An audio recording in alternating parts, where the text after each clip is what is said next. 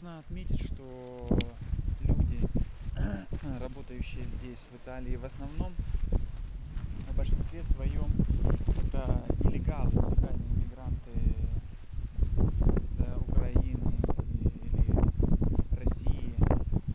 А, зачастую, вернее, в основном, в большинстве своем, это люди а, с низким интеллектуальным уровнем. И это, в основном это так называемое третье сословие, выходцы из а, неблагополучных семей или э,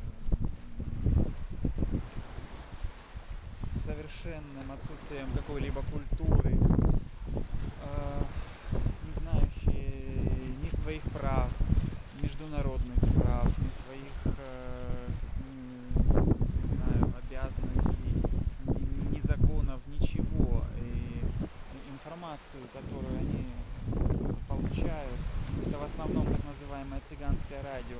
Тот сказал, этот сказал, этот э, видел на заборе написано и так далее. Э, И живут вот э, в полуподполье, зачастую выйти на улицу и, и так далее, и так далее. Поэтому, поэтому и итальянцы привыкли к этому,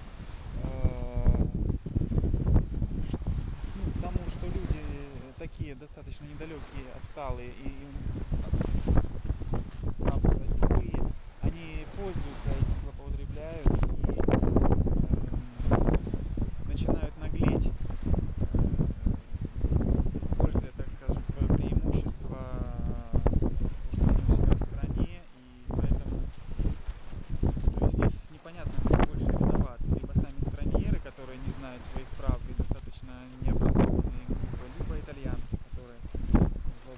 between